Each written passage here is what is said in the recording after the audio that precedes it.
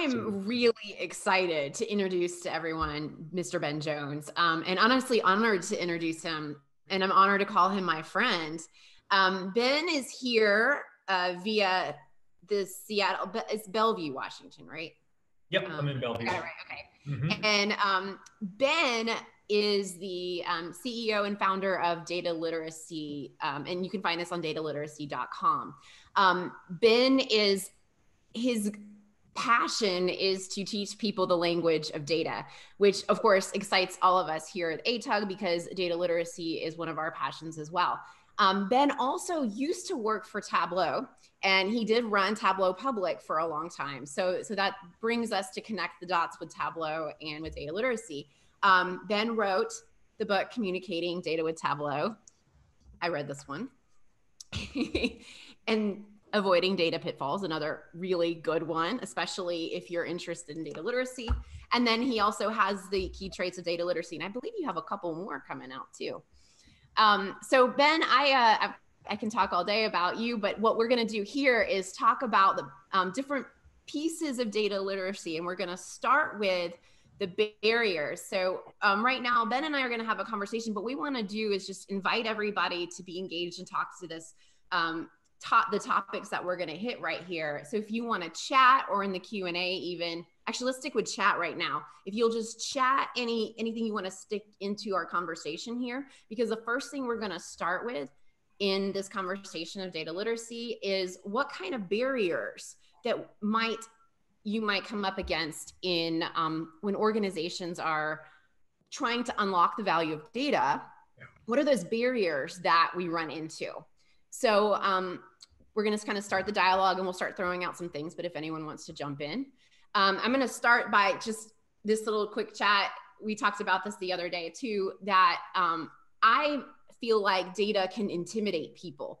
So ben i want you to just kind of throw out to me what kind of things that you've run into that intimidate yeah. people about data and what's our gatekeeper there? Yeah sure. Uh, no that's a great question. So before i uh, dive into that though i just want to say thanks uh, for the intro anna i'm also really excited to be here chatting with a good friend of mine uh, anna nelson as well going to chat with him and karen um, and so you know big fan of atug i know that you all have been uh, the one that set the trend now there's user groups all around the world. I actually ran the Los Angeles user group way back when, oh. before I went to Seattle to join Tableau. I guess it would have been like 2012, 2011, that time frame. You know, we would have to work real hard to get like five people to show up. So uh, those were the earlier days. Um, so I have a lot of respect for you all and i know what it takes to pull together a presentation and speakers and managing it and all that so definitely uh, thanks to all of you organizers of, of atug for getting this going and for inviting me. Really really appreciate it. So with that out of the way um, yeah so we talk about data phobia you know this idea that um, a lot of people are still pretty afraid of data. So when i was running tableau public and using um, uh, that product with uh, journalists mostly training journalists you know journalists there's some fabulously talented data journalists around the world that really push the boundaries of what we know how to do with data and i'm a big fan of, of a lot of their work but when we were working and traveling around going to these journalism conferences we started to realize that you know many many journalists didn't go to journalism school because they like data it's because they like stories, people, photographs, video. That was really their medium, you know. And now they're trying to kind of get caught up with this wave of data journalism and learning Tableau Public to do that. And so we would train big conference rooms of people from everything from the BBC down to, you know, I don't know, smaller local. Even one time I got to do like a community newsletter uh, conference out in Missouri uh, um, Columbia, Missouri, and where there were people that were, you know, running like tiny little newsletters for a 200 person town, and hey, what can they use data for? You know, for the town budget, or so. And, and this data was not their language, not their medium, not their thing, and they were freaked out by it. So we were helping them get past some of those barriers.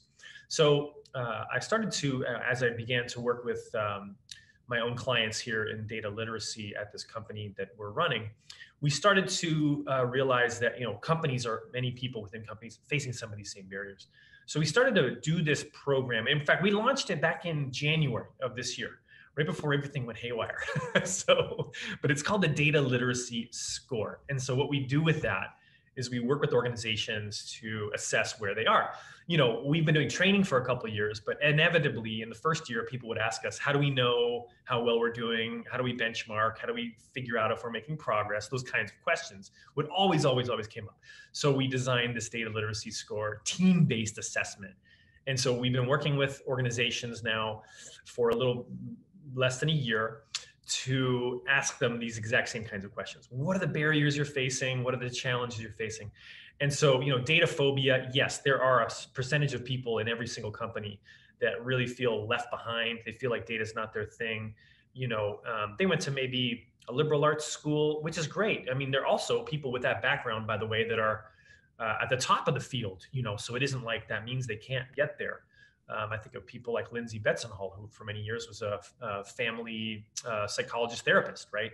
So many people with a um, you know more uh, sort of less let's say less data centric uh, formal education have embraced data. And tableau has been a way for them to i think transition into data working in their career. But when we talk to companies and we say hey what's your big, biggest single barrier we hear lots of different answers and why don't we throw some out there so you know one that um, that I hear a lot, right, is just this idea that people don't really trust the data yet, you know, um, and that's maybe because they see errors in it.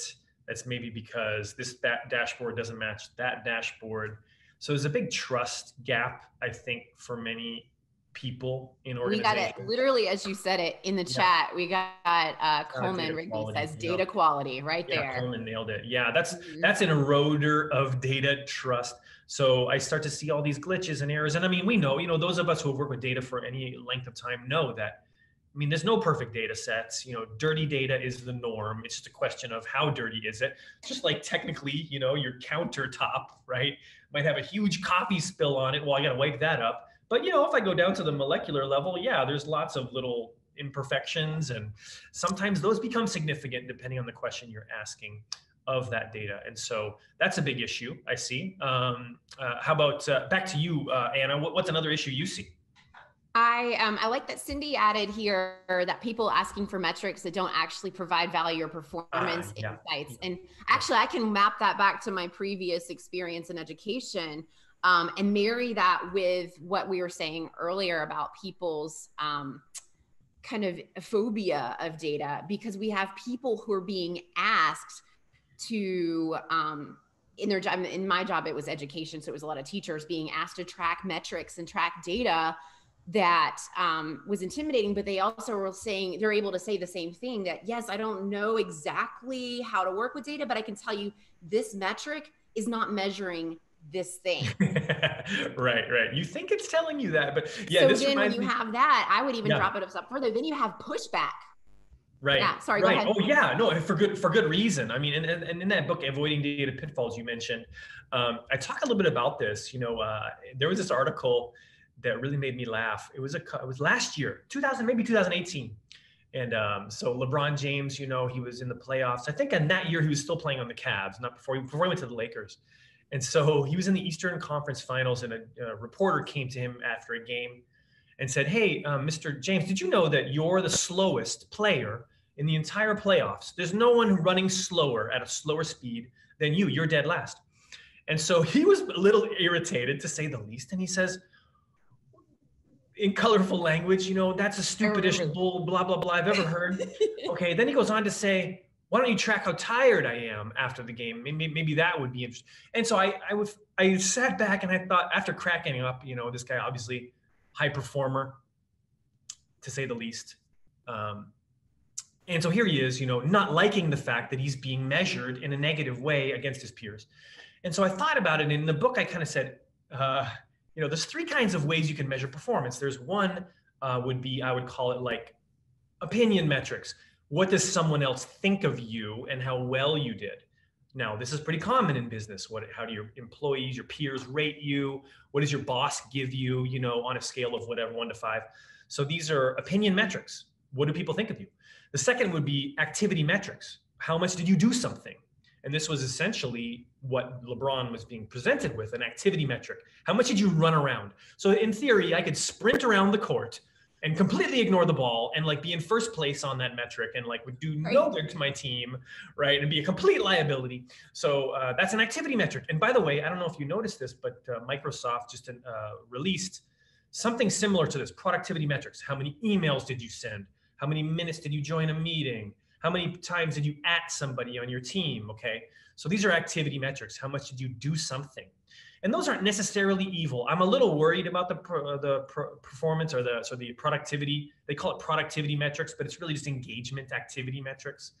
I wouldn't want to sit in with my boss and say, "Hey, your emails are down 20%." You know, I mean, I don't want to have that kind of discussion because I think the third type of metric is the most important one, which is performance metrics, right? So, how much did impact metrics? How much did what you do actually impact the bottom line, move the needle? And so, if we're not using those metrics, then people start to just get irritated about data, like a LeBron got irritated about that reporter's question, you know, um, because I'm trying hard, I'm making results, and all you're doing is coming in and measuring how fast I'm running around, how many emails I'm sending. Um, so is that what data is for? Is it data to kind of be the cop to see if I'm still logging in? So I'm going to log in and then walk away, but it still shows I'm. People can game those metrics, you know. So anyway, yeah, that's a big erosion, eroder of data quality, data trust and, and I'll never forget. I have to yeah. butt in that, um, and I just to toot your horn there because you wrote an article about that that, that I never will forget. When data is the dumbest word yeah. that LeBron said. Well, yeah. you also pointed out in that article, uh, and this will bring us to the barriers again, because you pointed out what metric was a better metric, and I forgot the name of the metric. You might remember off the top of your head. It was a oh, metric. Oh yeah, player in PIE. So yes. so actually, I went so far at the time and looked up the calculation for PIE. It is such a huge mathematical calculation that's weighted averages and everything that going back to barriers if we are going to find the right metric uh, sometimes uh-huh. the right metric is intimidating again yeah. and we're going back to the whole well this is dumb. Let's just use speed. Let's just yeah, yeah. measure well, so- speed because I don't even know how to calculate this, right? Yeah. So it's fascinating you bring that up. This idea that sometimes the what's behind the calculation is so complex and so opaque that it actually becomes itself this fear-inducing element of the data. I just tweeted yesterday a really great article out of the MIT Technology Review about how this exact concept applies to um, credit scores as well as benefits algorithms that various public agencies, state health departments use to determine who gets in-home care, how much in-home care, all of those things. And so the people that purchase and use those algorithms off the shelf don't really themselves know what those algorithms are saying or doing, or even what inputs go into them. And many times they have they have errors and these are tragic for people that result in them losing their benefits you know being left out in the cold not getting access to loans and things like that. And then it's really tough to peel back the layers of the onion to figure out what exactly is going on there. And so this can be a really uh, big problem for organizations as they also maybe have some fairly complex metrics that they're using. And your average joe is really going to just scratch their head and walk away. And, and so they need to i think um, find ways to explain in simple layperson terms what are the metrics. And to your point, maybe also they should ask themselves does it need to be this complex? Is it useful or helpful? Does it add value that we're adding in? It's always it's sort of the evolution of of using data it, it, probably tends to be more and more and more complex. Oh let's add this component. Let's add this factor or, or variable. And then it just grows and gets bloated. And at some point you look at it and go i don't even know what it is anymore you know it's just so so crazy and and whatnot. So, so we're gonna have to move to the next topic in just a second here, but Uh-oh. I did want to throw out just a couple more barriers that we talked about earlier, so people can think about these as we head into the next conversation. But we talked a little bit about the um, the silo data. data is all over the place. We can't even get to it. That being another barrier, and also those gatekeepers keeping us from. Well, we we know where it is, but do you really yeah. need it? So um, we, we do have a couple yeah. minutes or minute or so for a Q and are we going to do the Q and A? Okay. So, do we have a question, Karen? On the barriers? I'm looking. I, I see a lot of like people have a lot of um have suggested a lot of thoughts around barriers, but not so many questions. Okay. Um, well, with that, great points move... in here though. Yeah, interactivity barrier. This is from Michael Lane. Users might not be professionals, so they don't know the variables in the data or not familiar with Tableau. This is actually a big one. So I, I work with this one organization that did an audit there. That's what their, their function was. And they were saying, we don't really know the business meaning of the data, mm-hmm. the variables. We see them, we're looking at them, but we don't really know what they mean. Um, and this is common, I think, when you have like um, grouped analytics teams, which is actually, I would say, probably the best practice to have a team of experts. Oftentimes, you're going to sit there and say, "Well, I can look at the numbers, but I don't know what they mean. I don't really understand their impact or their importance." So there's this data knowledge bucket, and then there's this business acumen or applicational knowledge bucket. And so sometimes, because of the way we group our teams, we have people that are experts in one of those buckets, but not the other. And so the question is, how do you bring those together so that I understand the data, but also what the data means, you know, in terms of its connection to the real world? All right. With that, we're going to move to uh, you're going to Karen's going to introduce a next topic here on our conversation of data literacy. Yes, and so I think this slide is kind of our transition into this next section. So here we're really just going to have a discussion around Ben, we'd love to hear your thoughts on potential ways organizations can unblock some of these challenges, these things we've talked about, and we've kind of like touched on some of them, but how do you start to head in the right direction? Yeah. Yeah. So it's easy. it's sort of depressing to sit here if we only had a conversation about all the challenges and barriers. So how do we get past them? How do we get over those hurdles um, in front of us? You put a big spring on your shoe. No, I'm just kidding. Uh, so, so, all right. So, well, we've got to kind of, what we do with our data literacy score is we're taking a look at it from sort of seven different factors that I think oftentimes maybe people don't really think of all of them, but and so just to kind of mention them briefly, and then I'll dive into a couple, I think maybe practical things to get started. So the first is, you know, purpose. So is your data connected to what your team is actually trying to accomplish, the goal? Or are your, I think this happens a lot of times. We hire data experts. What do we do? We put them on these side projects that mean nothing, you know, and they get very frustrated because they're not really doing anything. They're not really contributing in a way that you know they're they're really smart people. They want to contribute. And so is data being used to actually move the organization or is it being used for pet projects that really don't move the needle? Uh, and this relates to this whole idea of how are we even tracking our progress? And you know do we have the right metrics in place to know if we're uh, moving in the right direction? So there's that purpose connection. There's also one we left behind is ethics. I mean, it, no one wants to work on a team for a boss that's using data for harm. I don't want to, you don't want to.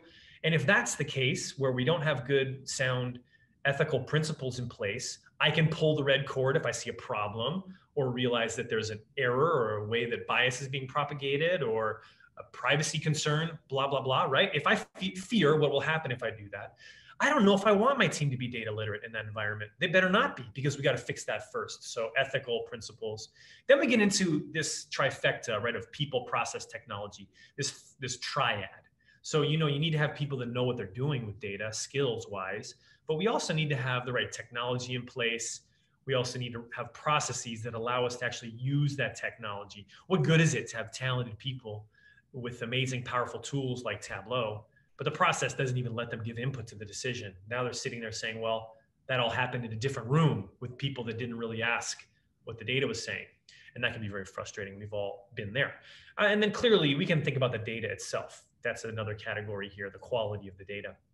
Last category uh, being one that I think Tableau has put to the forefront is this idea of, of data culture. So, does our organization reward people who are um, uh, successful with data? Do they get the chance to um, talk about their wins? Uh, do they get rewarded and promoted and, and such? Um, do we have communities, meetups resources that we can engage in uh, that help me get better. And I feel like as an average employee, this business is investing in me to get better at data. They're providing me access to really cool, fun, and interesting things like your Iron Viz uh, contest that, that get me that get me going. So these are the seven factors, and I think that you look at each one of these and say, well, we've got to find solutions in each one of these in order for us to really move forward.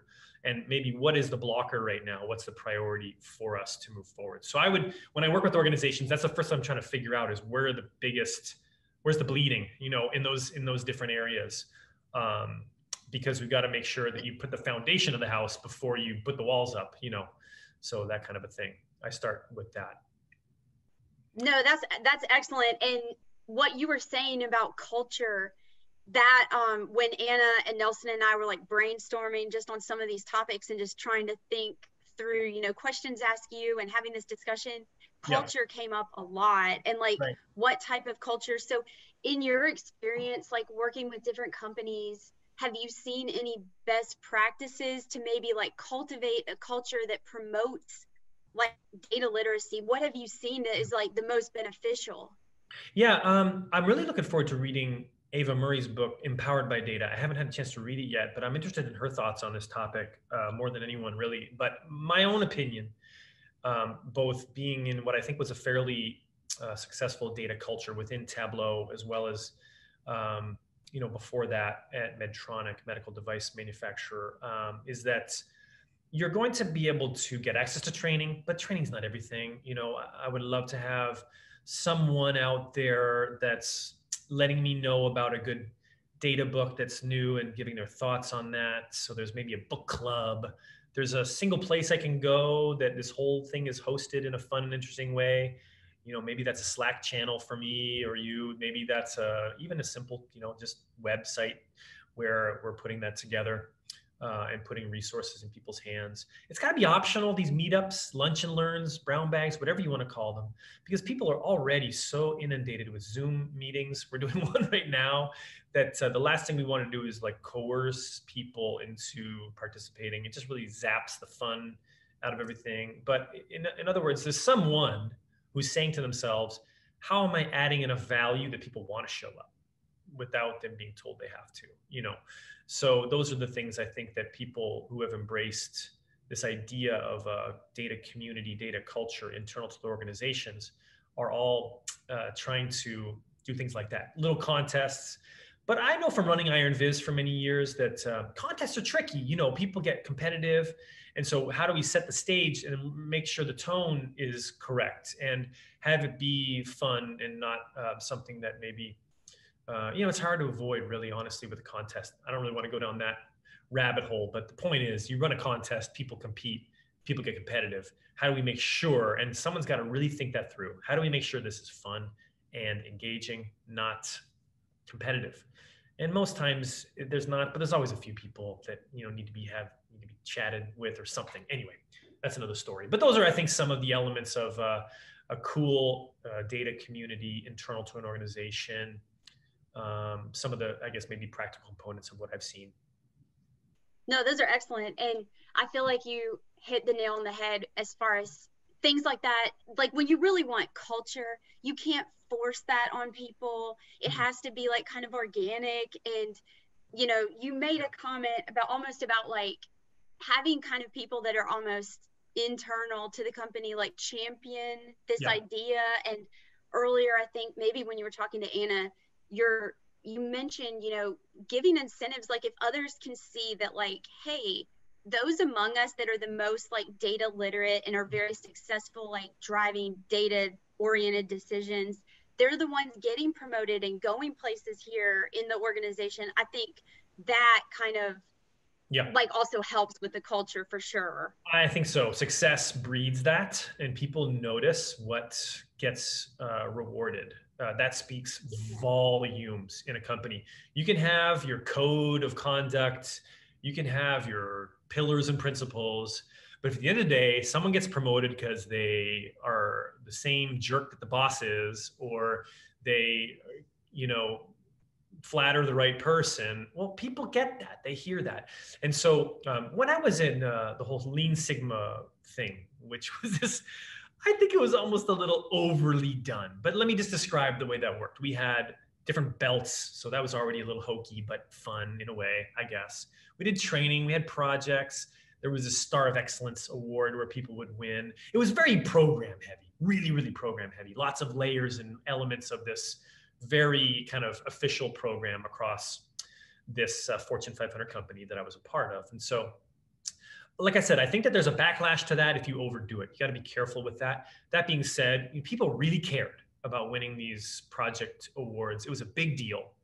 And you know, those people that got it did get chosen for leadership positions. And so people were jumping on this bandwagon like crazy. And so um, again, I, like I said, I think it was overdone though, right? Because then, you know, there's a shelf life to some kind of very heavy-handed initiative like that. But at the same time, what I learned about it is that people pay attention to what gets rewarded. People pay attention to who gets opportunities and spotlight. Um, we also want to make sure and go out of our way to make sure that that's a diverse sort of a um, reality in our company. Um, and so, uh, but you know, those to me are yeah, like you know, we need to ask ourselves those questions. What are the things that get people to get um, you know develop their careers here um, to continue to you know be able to contribute at a higher and higher level. Um, those are really important aspects. We can talk about uh, solutions like data catalogs. Those are great. We need some way to bring in metadata and descriptions. Yes there's those technical solutions. We've got to think those through. Uh, at the same time there's the cultural pieces which if we forget then we just get a bunch of fancy tools in the garage that nobody ever takes around the block, you know. And um, exactly. Yeah. I'm trying to think of other. So I see a few oh, questions. Oh, yeah. Nelson, did you did you have any that you want to bring up? Well, you know, it's interesting, y'all. I think, um, again, kind of like what we had before, there's a, a bunch of great comments in the thread, um, yeah, in, in the chat. Um, you know, everything from, you know, how do we do sprints and talking about doing, you know, biweekly backlog grooming sessions, you're talking about doing kind of knowledge bites, doing internal user groups. Um, you know, there's a ton of different stuff. One of the things that we talked about yesterday was kind of referencing some of the organizations that we know of that are out there that are that are doing some things really well. At least you know from the outside looking in, and we talked about folks like the JLLs. Um, we talked about Comcast uh, up in Philadelphia is doing some great stuff. Uh, UBS with Paul Banoub uh, he's another you know leader who who's really got his arms around you know what does it look like to run a center of excellence, um, and so you know I think it, it's really looking at some of these organizations and and, and learning, um, but also you know Ben as we're about to talk about here, it, it's bringing it all together, um, and it, it and uh, you know I thought Ben you, you, had a great point as you were starting to get on with Karen about having the vision. Um, you know what does it look like um, that we we have a definition of success. Um, and so as, as we kind of wrap up with this third part here, you know, the, the big question here is, you know, what do other parts of a thriving data literate culture look like? And, yeah. and Ben, if, if we could, I, would love to just start with that big piece. Um, and, and I think having a vision of, of what does success look like? How do we define it, you know, at, at the larger organizational level? Sure. But also, you know, in HR and, and in, um, logistics and inside of marketing and, and right and so that people have an understanding of hey what are we trying to do here? And how do we know when we've been successful? And i think incumbent in that is a is a marriage between this uh, the, the strategy of that part of the organization with the analytic insight. And so i'd love for you to maybe dig in um, on how you see those things getting brought together really well. Yeah, I think that there's this flow down of metrics that we need to uh, define. So we talk about saying, well, what does success look like? Um, and then what are the, the, KPIs, key performance indicators that are connected to that? Um, but to, you know, you really, it can be easy if we just stop there. That we create a situation where when someone, I used to say comes into work, now I guess they just log into work, but uh, you know, well, what what are they going to do today? And how can we give them uh, the ability to see that what they're going to do today is actually contributing. And sometimes that gulf can feel large for them. And so we try to use this goal tree approach to say well what's your kpi now let's actually literally break that down. I mean sometimes even in an equation what are the elements of that metric? And how do we touch those different elements? So let's say i don't know we're talking about a marketing team and they're looking at growing an overall uh, let's say um, you know marketing leads or something like that. Okay well we can break that down. Where are the leads coming from? Um, how do we look at it from a traffic versus a conversion rate perspective? These are actually factors that you multiply together and add together in very relatively simple mathematical equations that at the end give us that overall goal now i might be running an event in marketing okay what am i doing well i'm trying to add leads to the, the pile. Okay, well, what am I doing with that? I'm trying to get exposure to that, get signups for that. And so, okay, I can see now that that actually, that activity that I'm going to sit here and spend my time doing is going to contribute in a, in a very specific and measurable way to the overall goal. And so I think that that's a starting point because now people already get motivated and they're excited about contributing. Most people want to contribute. You know, most people, that's the idea of not contributing is sort of not fun for anyone. So paint the picture for them. What does contributing look like? How do you measure that? How do you see the contribution in, as quickly as possible connected to the activity itself? So I get that sense of, of moving this football down the field, moving the chains and getting closer. Um, and then you're going to get people that are going to be dialed into the data, if they're data people or not. Um, and then also thinking through, okay, not everything is going to be measurable like that. Not everything is going to be a simple calculation like that or an equation. So, how do we also balance this overall picture so that we do take into account maybe some softer metrics that are not maybe quote unquote data informed? And that's okay too. You know, um, it needs to be balanced, it needs to be holistic like that.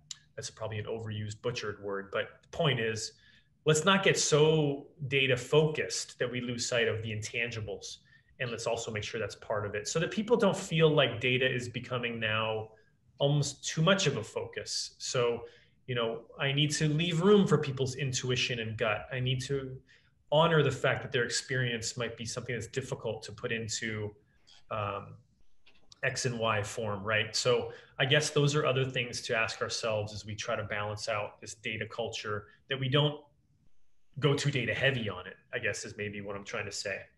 Yeah. Um, does that make sense, Nelson? What do you think about that? Well, I love what you're saying. I think one of the things that we used to describe um, as I as I ran larger teams and talked about, you know, how do we how do we lead our different teams and and you know kind of what's what's one of the the things that becomes an inflection point for folks who are kind of getting into data, but they're they're very much in kind of a doing role, and and you know what's one of the things that we see that uh, leaders and organizations have a different mindset on. And, and you kind of touched on it, you know, I, I, use the terminology of, you know, leaders see the forests and sometimes the doers will just see a tree. Mm-hmm. Um, and, and I love what you were talking about where, you know, conceptually what we want to be able to do is make sure we understand the greater purpose. And, you know, oftentimes we'll, we'll work with a, uh, an analyst or a part of an organization kind of say, hey, can you tell me what the vision statement of this organization is? Can mm-hmm. you tell me what the mission statement of this organization is? Yeah. And do you feel personally connected to it? Does it yeah. get you out of the bed in the morning?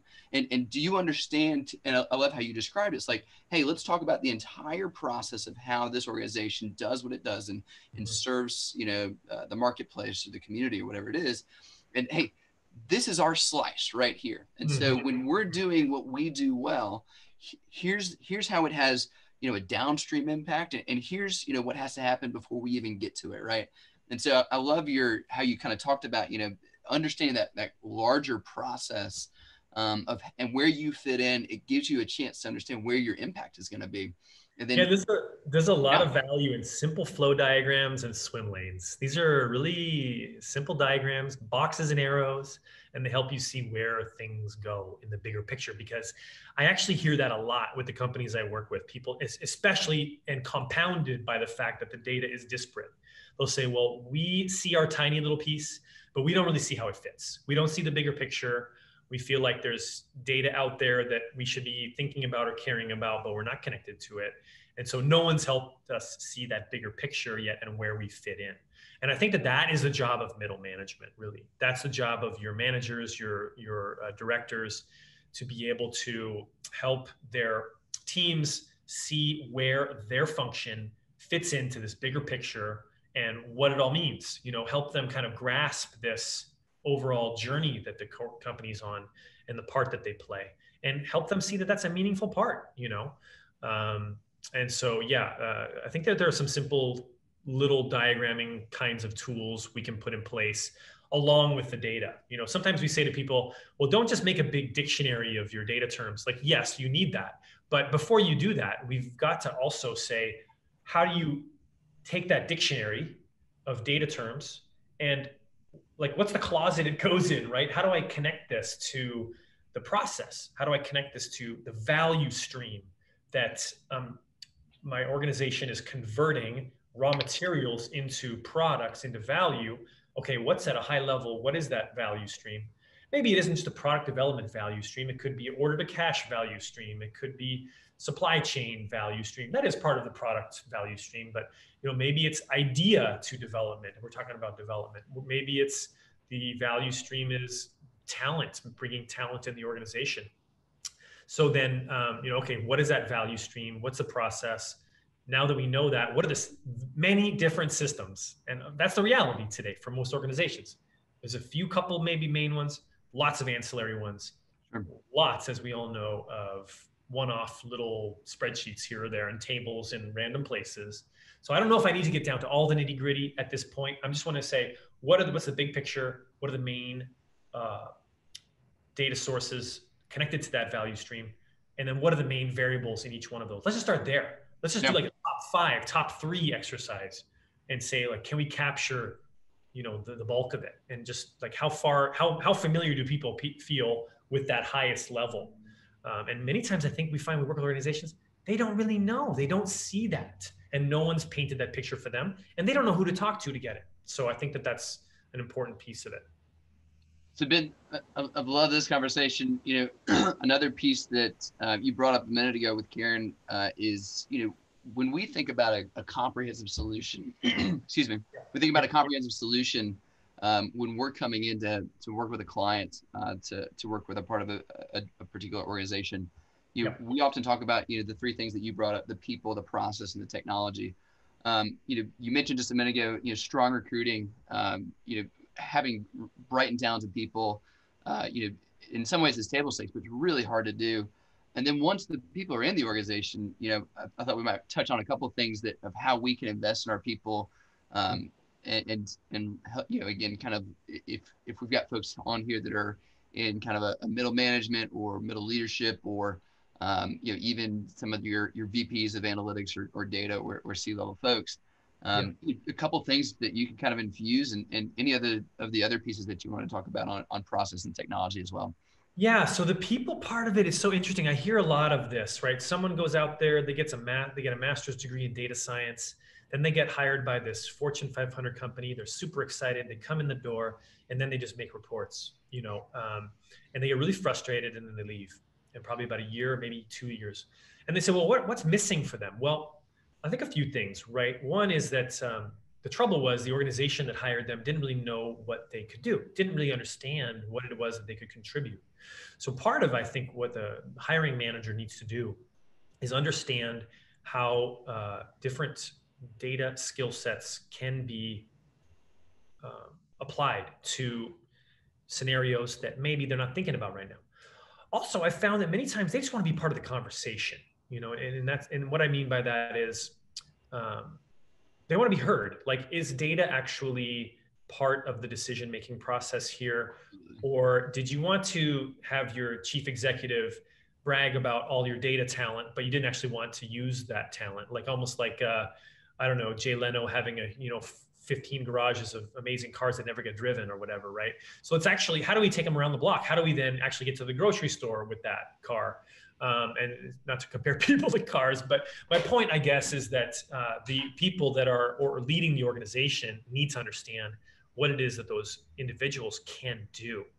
And then uh, many times they don't. So then, if they can figure that out, oh, this is what someone could, in theory, do now the next question is well are you then using them for that are you are you allowing them to um, to to get to work and and to actually uh, brainstorm think outside the box most very talented people want to be creative want to not be overly limited by processes that tie their hands you know, most times I guess they have for large companies anyway, they're going to have access to the most powerful technologies, and the technologies are so powerful today.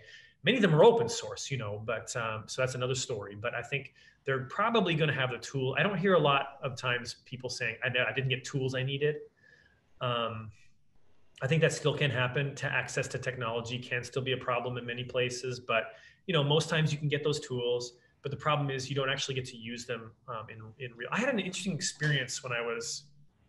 Um, at Medtronic where I was playing around with survey data and I was using a data mining algorithm using a software tool called JMP. But uh, point is that I was using this uh, sort of machine learning algorithm to go through the data. This is before it was a, a, fashionable thing to do. This would have been like 2010, 2011. And we are just trying to see what are the main ways that someone's satisfaction, like what are the factors that seem to contribute the most to someone's satisfaction with the company we found out that it was uh, product quality um, was the biggest was the biggest concern about a specific product. It was an insulin hmm. pump, and it was and then we went down the tree from there. But the point is, like nobody cared. It was like this interesting thing, and we were trying to present and tell people about it. Nobody cared. And then we started. Then we like about a couple weeks later, we had a recall. Oh, that same th- single product that the quality and their perception of the product quality was the single biggest driver of their satisfaction. We have to recall it. And so uh, we were saying, uh oh but what the tree told us was that we could, even if they didn't think very highly of the product quality, we could regain their high opinion of us if we gave them really amazing uh, service on the timing of this consumables product they needed to use. It was essentially the tubing that goes along with this insulin pump. And if they thought that we were really on the ball with that, you know, even even the people who weren't thrilled with the pump quality know, this is the way the decision tree works. Even those individuals. So we were able then now all of a sudden this analysis became anything any executive was talking about. So what was missing at the first was a connection to a real business need, a problem, an urgent problem. We have a massive recall. We're now freaking out, you know, we being everybody up to the CEO. And so then are we allowing them to be creative and think outside the box and use new approaches to some of the things that matter the most as opposed to it started off as a little pet project you know? And i, I luckily stumbled into it being um, something actually highly relevant. So i don't think people that are highly talented that get brought into teams want to use their amazing skills on pet projects that don't move the needle. Uh, at the same time you know there's this uh, hesitancy to when it really really matters right to include people that aren't at an executive level in the conversation to be open to interesting new approaches at, at mining data to look for uh, inputs there. And so that takes guts on the leadership point of view part. That takes guts on their part to say we're going to be vulnerable here and bring other people into this conversation that aren't in the club or whatever you want to call it okay and so then you know when you find those leaders you really want to work hard for them because you get to you get to go to bat. Absolutely. to to bat. yeah and, ben as we're as we're wrapping up here one of the things that i, I really hear you saying to us and and you know one of the things that I, I i hold this very dear is ultimately the success of analytics is that we improve the organization. And if we if we as an organization are aligned that improvement of the organization and helping the organization go further faster to accomplish its mission to accomplish its vision. And to your point in the moment when whoever the right person to give us that answer or to give us um, the ability to go further faster whether it's you know the analyst that's been here for a year or it's the the cdo or or the, the ceo let's get that person in the room because if we're all agreed that, that that's the vision, then then those are the organizations we want to work for. Um. Last few things, you know, it, has been such a, uh, you know, we've had some great, great comments. Uh, Coleman's had some great comments talking about, um, you know, the, focusing on having like a dashboard methodology. One of the things that we talked about in our process piece here. Um, and then kind of just the marriage of, you know, we talked about uh, from the outset, looking at that strategy, you know, the organizational strategy married the uh, the analytic insight and, and you know I think we all, you know, it's tempting to kind of say technology is the silver bullet that solves everything, but it, yeah. we should all know that that's not true, right? And so it's when those two concepts really get married. You know, we can't just strategize this thing and not have any data. That won't help us either. So right. it really is bringing all these things together. So uh, I've really uh, loved and appreciated this. Um, cool. Me too. Ben I, I, think maybe I'll close this out, and then um, you know, on behalf of our group here and, ATUG, um, it, it, in general, it just is so great to hear from you. Great to see your your smiling face. Um, you know, you're welcome back here uh, whenever whenever you can can be here, and uh, you know, love to to host you once all this pandemic stuff is over. But uh, really looking forward to your next book, Ben, um, and super grateful for for all your help. Thanks, everyone. Appreciate it. Yeah, thanks, Nelson and, and, Anna and Jen and Karen. Really, really appreciate giving me the opportunity to share some thoughts. And uh, you want to wish you all happy holidays for all the folks there uh, listening in. Um, what a tough year, 2020, huh? But you know, we made it. Here we are, and we're gonna uh, turn a corner here, 2021. It's gonna be a great one, and I'm hopeful that uh, you thrive in that new year, and um, hopefully, data is a piece of that, and that you continue to grow in your own uh, journey uh, into data literacy, becoming more fluent uh, every single week that goes by. So, thanks for including me, everyone. And